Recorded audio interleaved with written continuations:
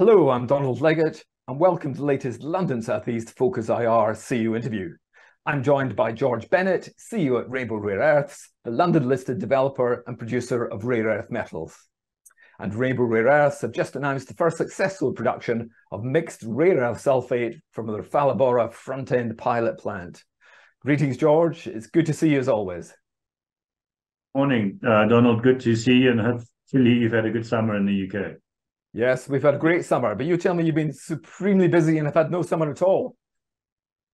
No, I've been hard at work, um, uh, delivering uh, what I've delivered in terms of, uh, and the team, no, supported by a very, very strong team that we've been able to deliver the announcement that uh, we made uh, yesterday.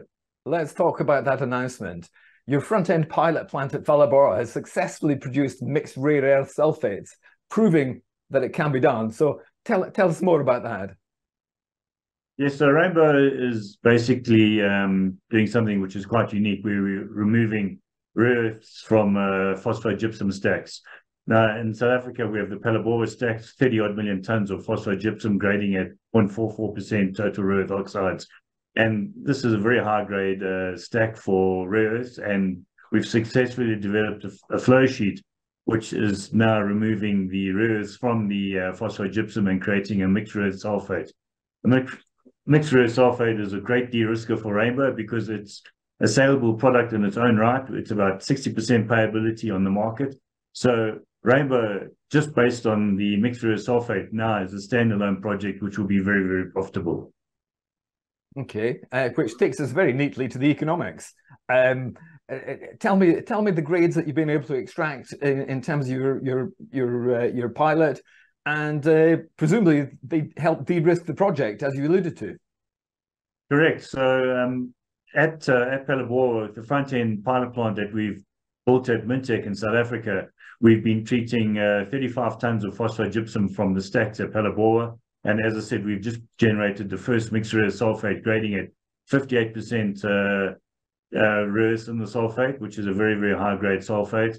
And the total TREO in the sulfate uh, is, as I say, com combined the four magnet rares that we're chasing at Phalaborwa.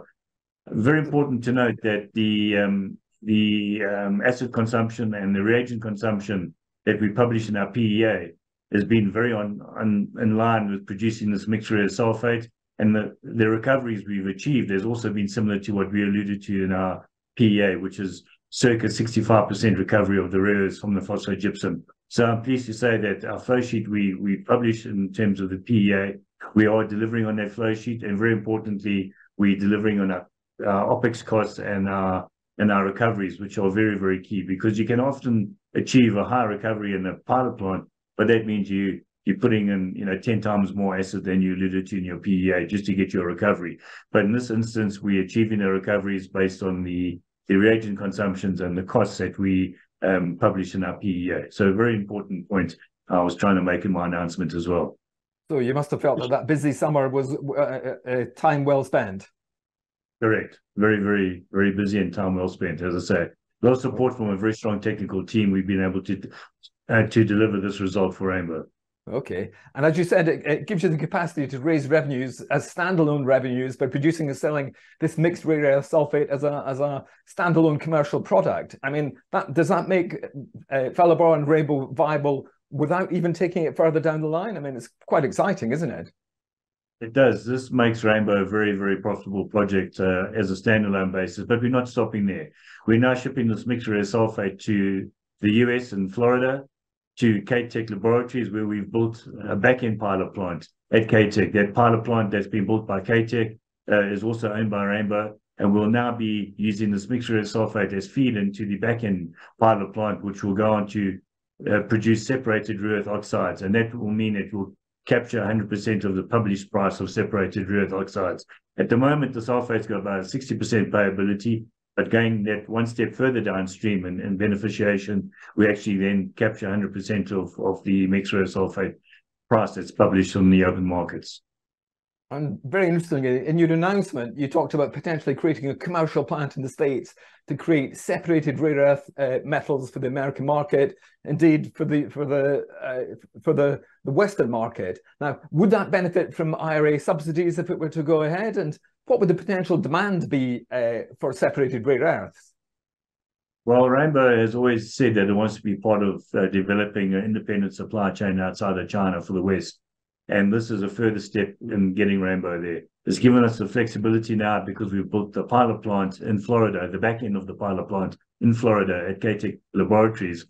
It now gives us the flexibility to actually also look at doing this on the commercial scale in the US as well, in terms of the back end pilot plant. We'll always do the front end in South Africa at Phalaborwa, but it, uh, we've, we now have to look at the, the, well, we have to look at the advantages of doing this uh, in the US, and we will then look at the IRA tax incentives as well as um, uh, cheaper funding in the US for the back end. But um, as I said, it uh, it helps us create this independent supply chain that the US government's been looking to roll out ex China. And as you know, in our last capital raise, the US government, through the DFC, the Development Finance Corporation, who invest in TechMet, which is a, a, a critical minerals fund funded by the US government, invested and now in 12% of Rainbow. So we do have the US government as an investor in Rainbow. So this makes sense to look at the back end in the US as well. You mentioned a commercial site that you were looking at. Might that be in Florida? No, it wouldn't probably be in Florida. We'll look at all the states which can give us the best subsidies and which are, are the best position to uh, to for us to situate the pilot plant. But okay. we are evaluating various sites. We have identified one potential site already, but as I said, um, we will we will uh, do further sort of uh, research into this. Okay, moving on. Uh, what's the commercial potential for, for Rainbow's process flow sheet? Uh, we've we've been talking about this for quite a, a, number of years now, and I know you're very proud of it. And, and it's actually uh, proved to work extremely well. You're in discussions with the Mosaic in Brazil, for example. Um, so, what's the commercial potential for the flow sheet? Well, we see a huge uh, opportunity with Mosaic in Brazil. The phosphogypsum stack there is considerably larger than rain, uh, the rainbow stack uh, at Phalaborwa. And we know that the phosphogypsum is uh, created from a source of hard rock carbonatite, which was uh, created the phosphate rock for the phosphoric acid plant that you had at Mosaic, that you have at Mosaic, which is it's identical to what we've got at Phalaborwa. We've got a hard rock carbonatite, which created a phosphate uh, slurry, which was fed into a phosphoric acid plant owned by Sasol and created the gypsum residue stack. And I must say, the process at Mosaic is, is a carbon copy of the process that was used by Sasol at Phalaborwa. So we're very excited that we know a large part of our flow sheet will be applicable to what we believe will be the opportunity with Mosaic and the Uberaba phosphogypsum stack in Brazil. Okay, my final question for you uh, today, George. What are the next steps for Phalaborwa and Rainbow? If you could look into the future for us.